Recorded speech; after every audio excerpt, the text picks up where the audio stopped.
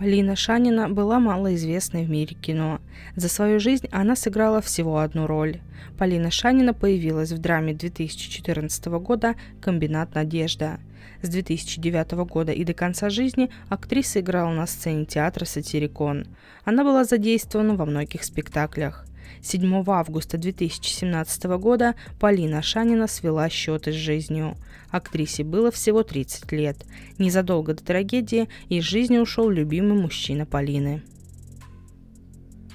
Вера Иванко успела сыграть в кино 16 ролей, но больше всего она была известна благодаря главным ролям в Яралаше.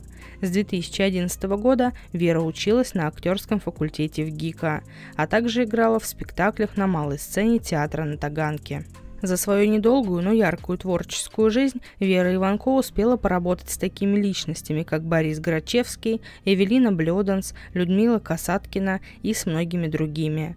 25 ноября 2013 года молодая актриса попала под поезд, получив травмы, несовместимые с жизнью.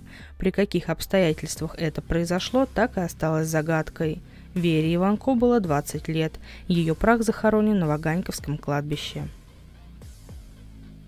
Екатерина Лапина сыграла в кино более 40 ролей, и зрителям была известна благодаря фильму «ДМБ», в котором ей досталась роль прапорщика Карнауховой. Помимо съемок в кино, Екатерина Лапина играла на сцене театра на Покровке и в театре «Практика». 15 февраля 2012 года актриса ехала на кинопробы и попала в ДТП. Спасти Екатерину Лапину не удалось. Она скончалась в тот же день в больнице. Актрисе было 40 лет. Она покоится на Николо-Архангельском кладбище. Лика Добрянская была актрисой Московского театра около дома Станиславского. В этом театре она трудилась с 1998 года и до конца жизни – в кино Лика Добрянская сыграла пять ролей.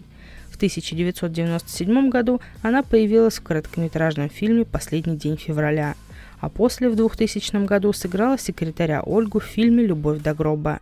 Также Лика Добрянская снялась в лентах «Воровка» и «Воровка 2. Счастье на прокат».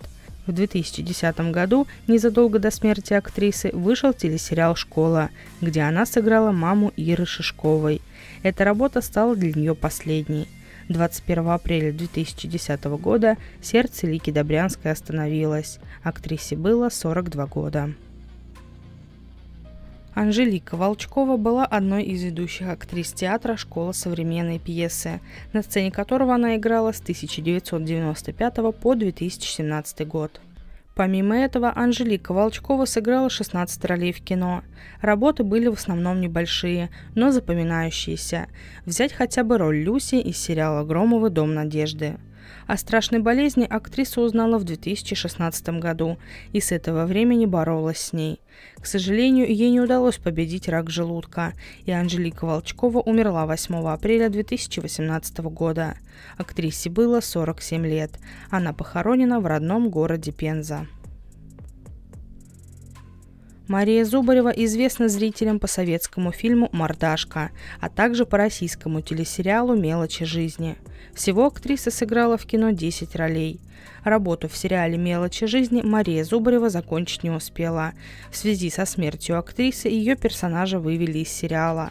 У Марии Зубаревой был рак, который появился из-за тяжелых родов.